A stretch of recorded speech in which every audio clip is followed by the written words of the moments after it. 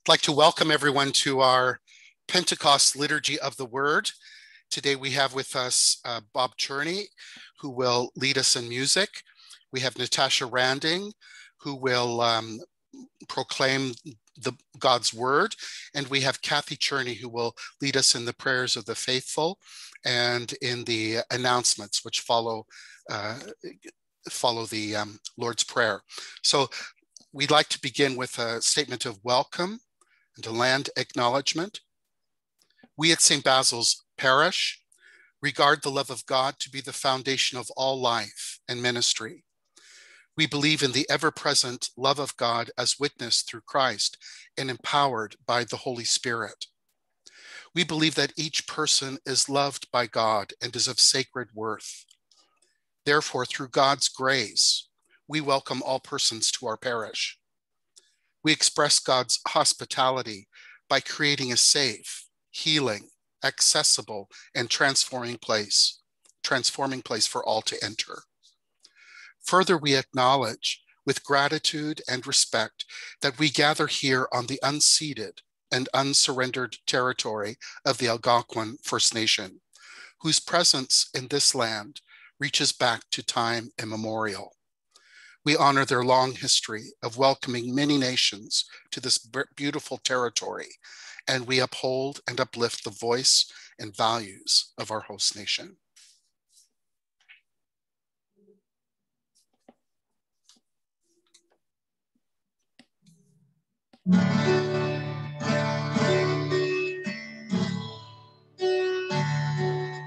Oh, Come, Lord Jesus, send us your spirit, renew the face of the earth.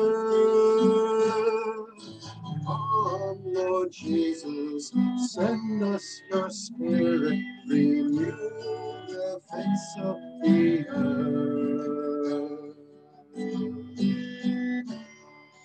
Come to us, Spirit of God Breathe in us now, we sing together. Spirit of hope and of light, fill our lives. Come to us, Spirit of God.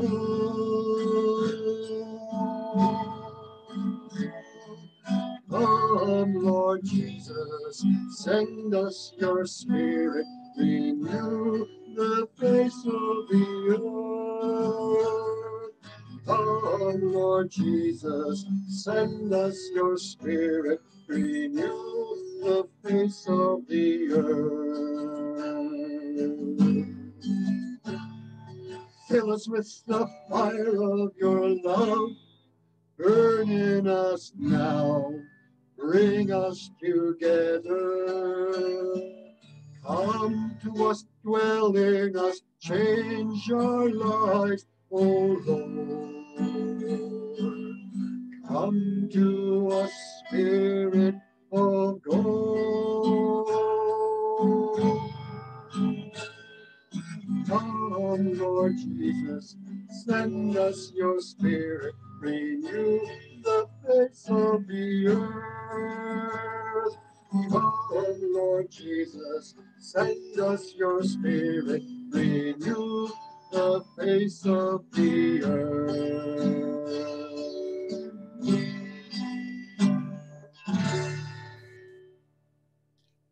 Let us pray.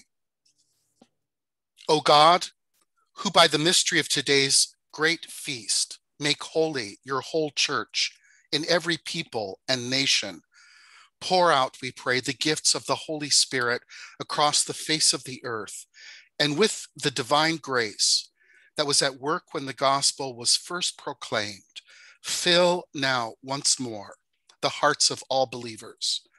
We ask this through our Lord Jesus Christ, your Son, who lives and reigns with you and the unity with you in the unity of the Holy Spirit, God forever and ever. Amen. A reading from the Acts of the Apostles. When the day of Pentecost had come, they were all together in one place. And suddenly, from heaven, there came a sound like the rush of a violent wind, and it filled the entire house where they were sitting. Divided tongues, as of fire, appeared among them, and a tongue rested on each of them. All of them were filled with the Holy Spirit and began to speak in other languages, as the Spirit gave them ability. Now there were devout Jews from every nation under heaven living in Jerusalem. And at this sound, the crowd gathered and was bewildered, because each one heard them speaking in their own language. Amazed and astonished, they asked, Are not all these who are speaking Galileans? And how is it that we hear, each of us, in our own language? Parthians, Medes, Elamites, and residents of Mesopotamia, Judea and Cappadocia, Pontus and Asia, Phrygia and Pamphylia, Egypt and the parts of Libya belonging to Cyrene, and visitors from Rome, both Jews and converts, Cretans and Arabs. And our own languages, we hear them speaking about God, God's deeds of power. The word of the Lord.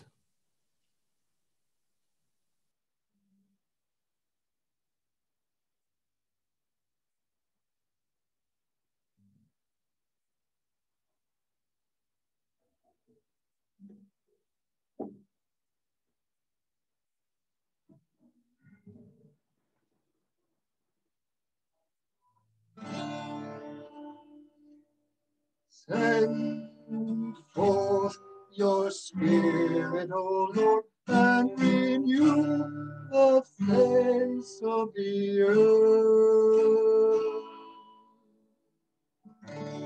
Bless the Lord, my soul.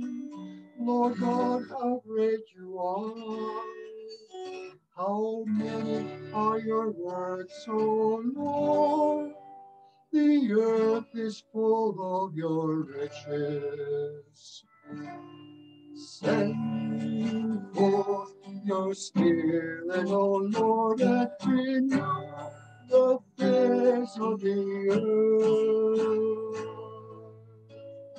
You take back your spirit, they die, returning to the dust from which they came.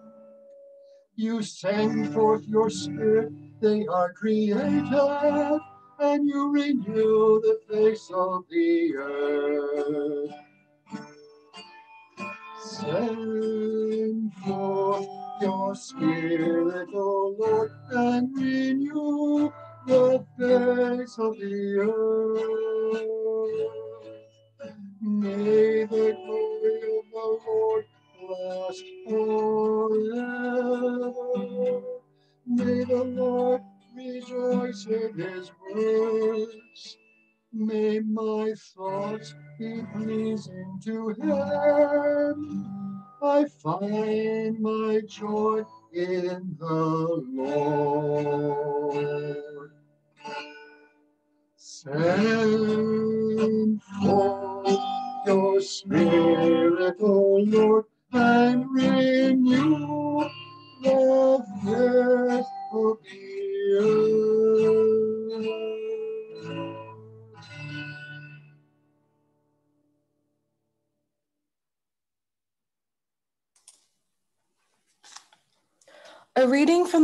letter of St. Paul to the Corinthians. Brothers and sisters, no one can say Jesus is Lord except by the Holy Spirit. Now there are varieties of gifts, but the same Spirit. And there are varieties of services, but the same Lord. And there are varieties of activities, but it is the same God who activates all of them in everyone. To each is given the manifestation of the Spirit for the common good. For just as the body is one and has many members, and all the members of the body, though many, are one body, so it is with Christ. For in the one Spirit we were all baptized into one body, Jews or Greeks, slaves or free, and we were all made to drink of one Spirit. The word of the Lord.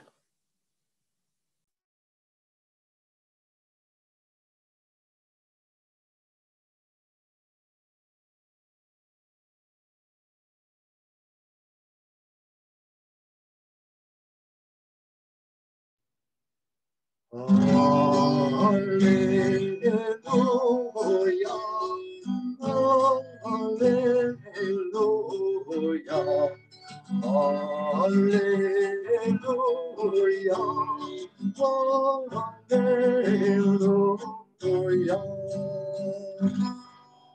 Come, Holy Spirit, fill the hearts of your faithful and kindle in them the fire of your love. Hallelujah. Hallelujah.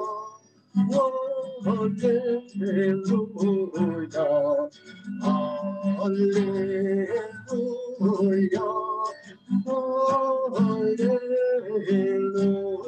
Hallelujah.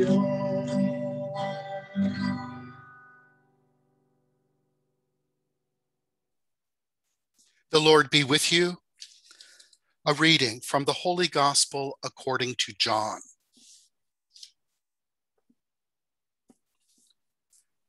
It was evening on the day that Jesus rose from the dead, the first day of the week, and the doors of the house where the disciples had met were locked for fear of the Jews.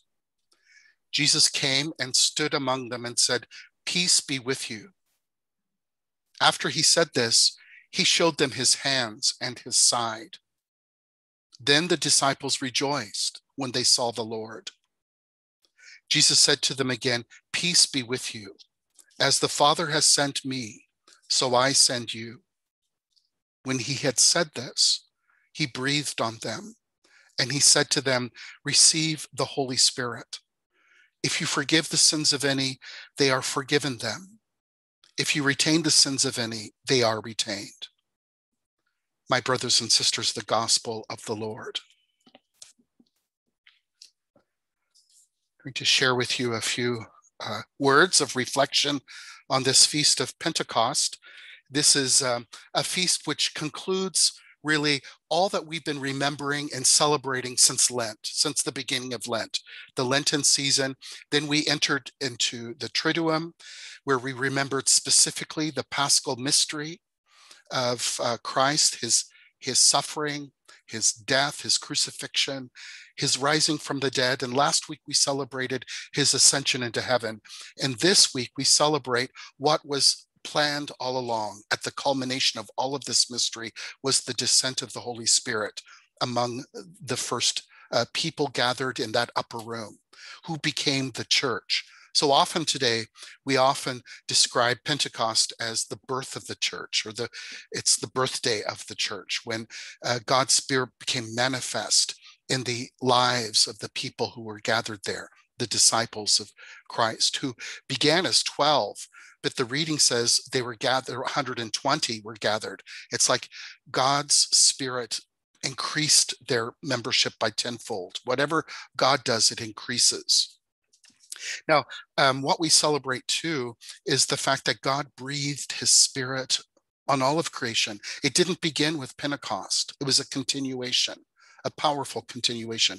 But we first see God's breathing on um, in in the book of Genesis when all the waters at, at the beginning were chaos and crashing.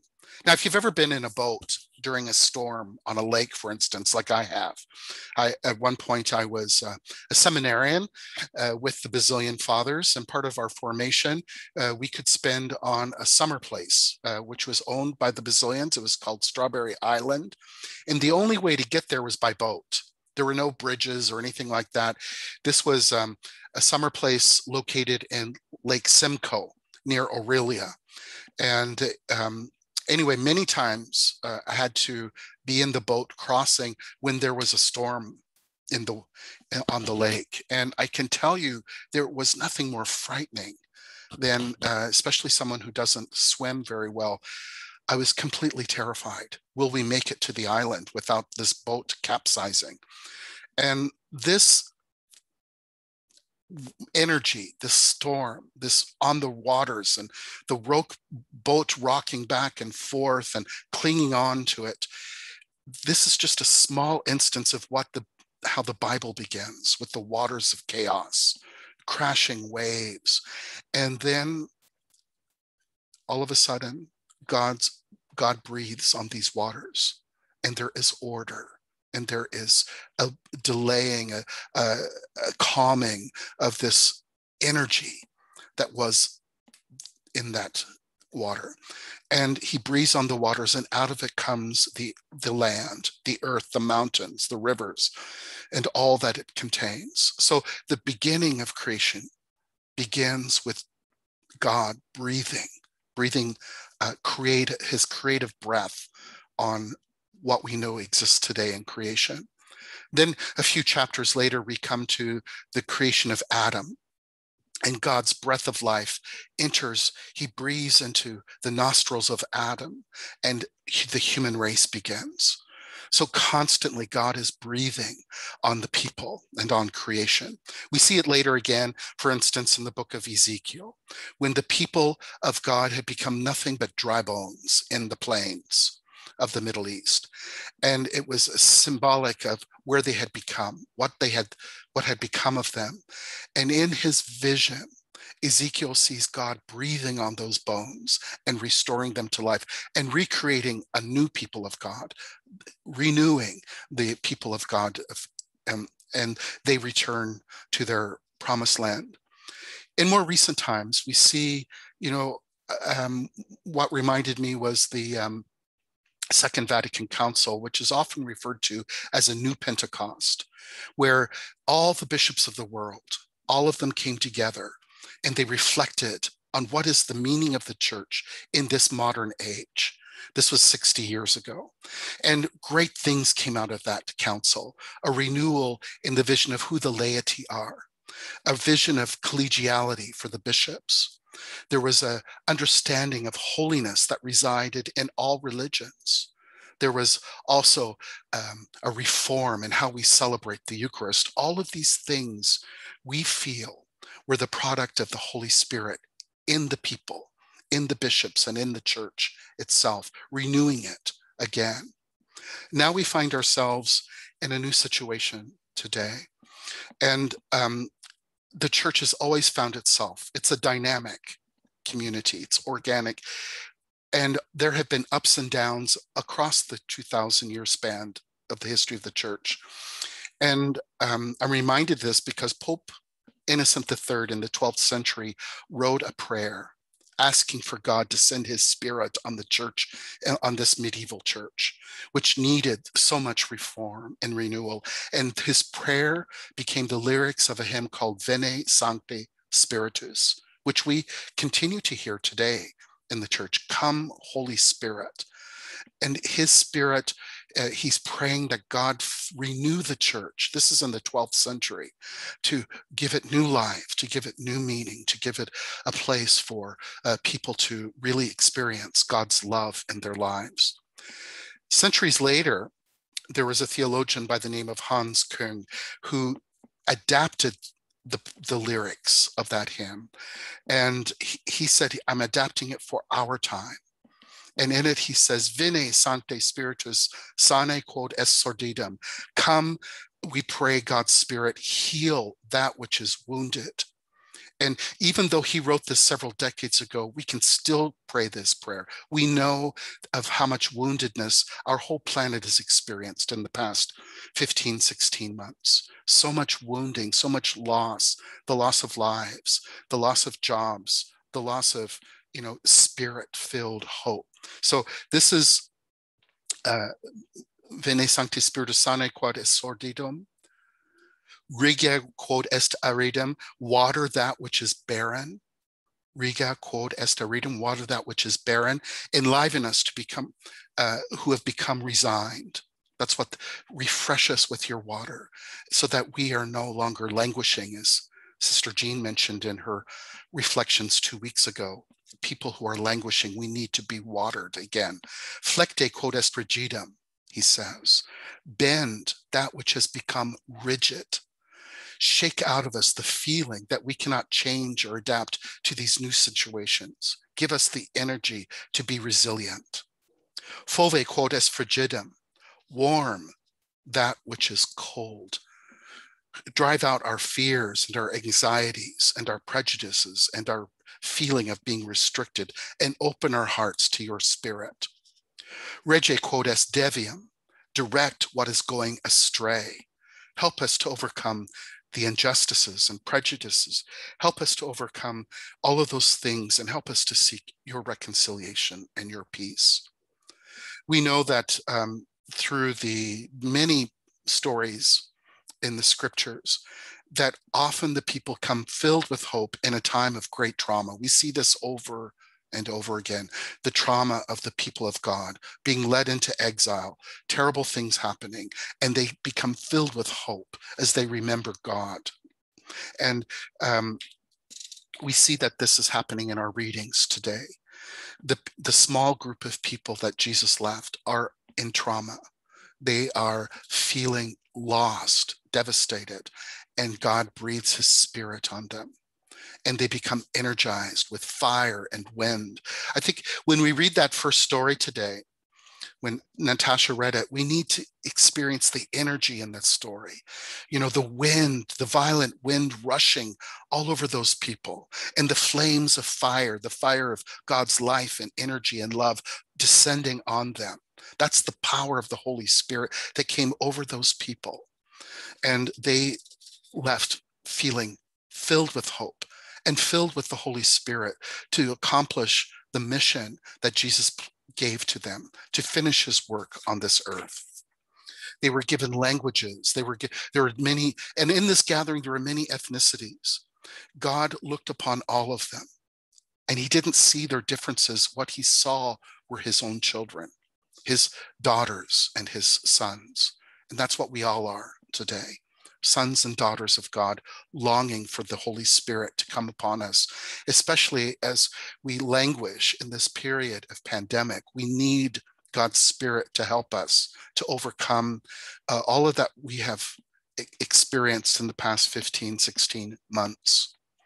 So let us allow ourselves to experience that energy and the creativity and the gifts that the Holy Spirit creates in us so that we can create a renewed church, something new, something fresh, something that comes out of this pandemic. Recently, I have uh, just very recently in the past week, I've called upon two parishioners to help me form, to, to help co-chair a kind of committee, I guess you'd call it, or a movement in our parish, which is the preparation for us for when the time comes that the pandemic, pandemic has come to its end. And we begin this um, even before uh, it's safe for us to come back. So I'm thinking of a process of renewal for our parish. And it's a, a time for us to harness, our mission statement says, harness our gifts. We need to harness our gifts so that we can renew our own parish and fulfill um, God's own mission here on earth and among us and uh, in our neighborhood and society and for the great work that we do everywhere. So um, this Pentecost allows us to have a renewal. This is how I understand it a renewal for our own community. There's a renewal for the church. There's a renewal for the whole world. Uh, and we, we ask the Spirit, Veni Create Spirit, come, Holy Spirit, fill us with your love. Fill us with your fire, your energy, to give us the ability to renew our parish, to renew the church, to renew ourselves during this uh, long and lengthy pandemic. Let us pray for God's outpouring of his Holy Spirit on the whole earth. May God heal us of all of our losses. Amen.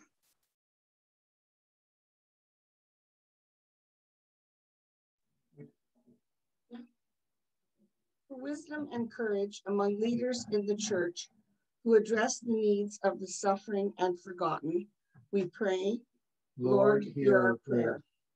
For all world leaders, that they may always discern with a spirit of collaboration and reconciliation, we pray, Lord, hear our prayer. For peace in the Middle East, we pray, Lord, hear our prayer for ongoing efforts among nations to help each other during this pandemic. We remember especially the people of India. We pray, Lord, hear our prayer. For our parish's students preparing for their first communion and reconciliation, and the students who will be confirmed, that they will always be filled with God's spirit of compassion for their neighbor. We pray, Lord, hear our prayer. For all who struggle with loneliness during this pandemic, we pray, Lord, hear our prayer. For all men and women discerning and living out their baptismal call in vocations in marriage, ordained ministry, religious life, single life, or lay ministry, and for those who journey with them, we pray, Lord, hear our prayer. For those among us who are sick, we pray especially for Louise Harridge, Archbishop Marcel Gervais, Toddy Keogh, Scott Reed, Mary Dietrich, Judy Staniszewski, Victoria Toro, Mary Lou Ayatel, Hubert Corbier, Jeff and Nancy Clark, Yang Beilu, Shirley Armstrong, Misha Kaiser, Shea Grube, Frank Viancourt, John Dormer, John Odsent, and Joan Holman, sister of Jim Ramsey. We pray, Lord, Lord hear our prayer. prayer. For those whom we love and have lost, we remember especially Helen Hughes, Jean Elizabeth Leboutier, Lucas Murnahan, Kathy Bourgeois and her husband Bernie, and all who have died from the coronavirus. We pray, Lord, Lord hear our prayer. Lord God, we ask you to hear our prayers, those that we've mentioned and those that we hold in our hearts. Grant them according to your will. And we make this prayer in the name of Jesus, your Son and our Lord. Amen. And now let us pray together the prayer that Jesus taught us. Our Father, who art in heaven, hallowed be thy name. Thy kingdom come, thy will be done on earth as it is in heaven. Give us this day our daily bread, and forgive us our trespasses, as we forgive those who trespass against us. And lead us not into temptation, but deliver us from evil. Amen.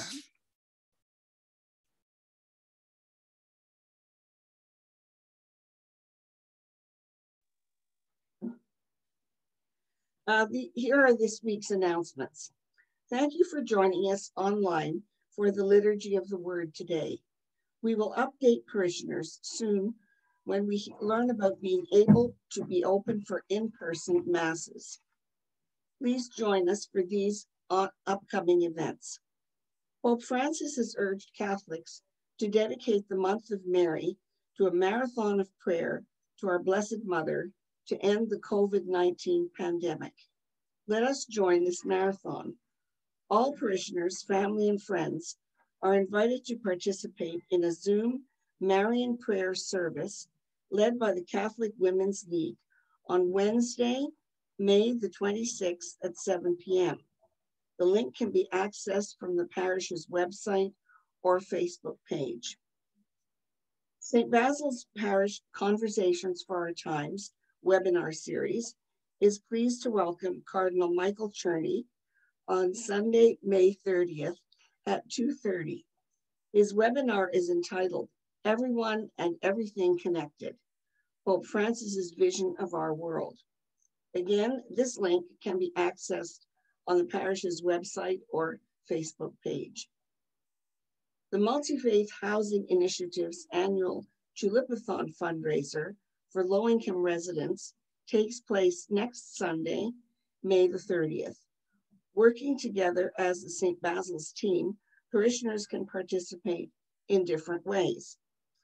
First, by taking a three kilometer solo stroll or household hike whenever you like and ask people to sponsor you.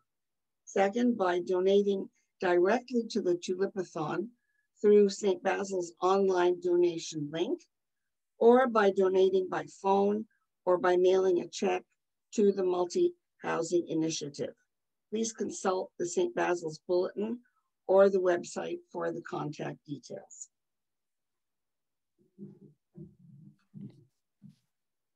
Let us pray.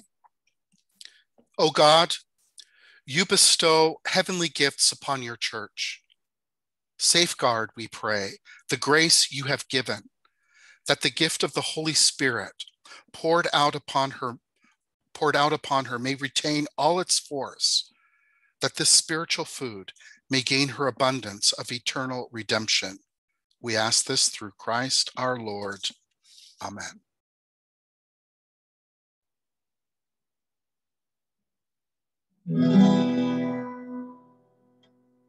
We are one in the Spirit.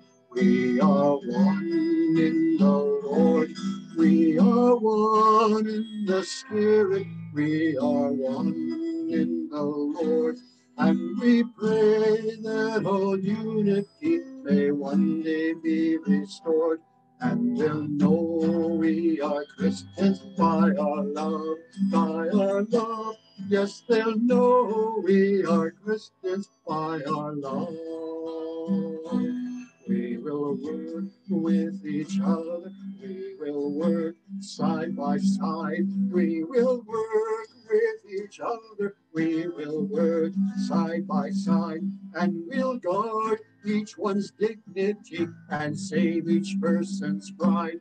Yes, they'll know we are Christians by our love, by our love. Yes, they'll know we are Christians by our love.